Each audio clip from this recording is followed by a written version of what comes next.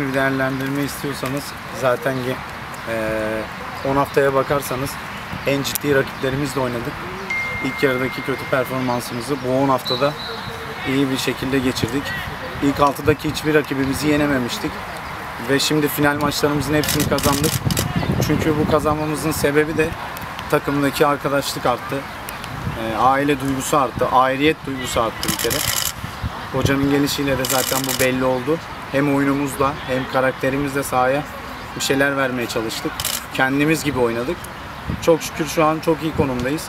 Ve son 3 hafta gerçekten 26 yıllık bir özlemin son 3 maçı. Biz bunun farkındayız. Bu camianın bunu hak ettiğini çok biliyoruz. Başkanımızın bunu hak ettiğini iyi biliyoruz. Ve buradaki çalışan personelden dahil bütün futbolcular bunun çok iyi farkında. Kimsenin şüphesi olmasın. Hafta sonu da bir adım daha var. Şimdi maça final final çıkıyoruz çünkü. Hafta sonu da Tuzla ile oynuyoruz. O da çok zorlu bir rakip ama bizim için bu saatten sonra rakibin ismi veya nerede oynadığımız, hava koşulu hiçbir şey önemli değil. Sadece önemli olan oradan alacağımız 3 puan. Öyle. Başka sorunuz varsa. Kendi performansını nasıl değerlendiriyorsun? Ümraniye'deki o eski Emircan'ı yakalayabildin mi? Yani Ümraniye'nin üstüne biraz zaman geçti. Alanya'da da çünkü biraz vakit geçirdik. Pandemi dönemi işte sıkıntılar yaşadık ve buraya geldim. Adaptasyon sorunu bayağı yaşadım. Çünkü çok büyük bir camia. Ee, çok büyük beklentilerle geldim. İşte yani şimdi nasıl söyleyeyim? Sahaya yansıtmam gereken performansı unutup burada başka sorunlar yaşadım. Ama bunları şimdi burada söylemenin bir anlamı yok. Her şey geride kaldı çünkü. Ee, verebildiysem hakkınızı helal edin, veremediysem hakkınızı helal edin. Ama içimde hiçbir zaman işte burada e, mücadelem hiçbir zaman eksik olmadı. Çünkü bu formanın, armanın değerini bir, bilmem gerekiyor.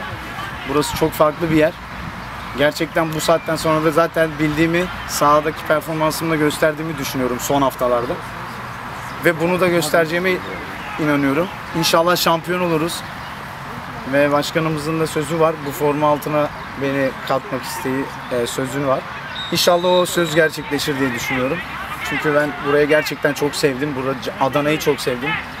Adana Demirspor'a bir gönül verdim. İnşallah her şey istediğimiz gibi olur. Yani şu çok çok önemli. Az önce belirttiğim gibi birlik beraberliğiniz çok öne çıktı. Yardımlaşmanız çok öne çıktı. Bir de rakipleri küçümsememe olan, yani rehavete girmeme olanız e, hakikaten bu memnuniyet verici bir durum. Ee, Başarılı Biz artık rakip seçmiyoruz çünkü dönülmez bir noktadayız. Ee, Herkes bunun farkında. Dediğim gibi yani burada çalışan inanın futbolcular herkes bir bütün. Şu tesisin için sadece tek bir hedefe odaklanmış. O da şampiyon olmak. Çünkü bu şehir gerçekten bunu hak ediyor. Bu başkan bunu gerçekten çok hak ediyor ve buradaki futbolcular, teknik ekip herkes hak ediyor. Ve sahaya da yansıyor çok şükür. Dediğim gibi son 3 maç kaldı ve biz gerçekten çok inanıyoruz. İnşallah da olacak. İnşallah. İnşallah. Başarılar. Teşekkürler.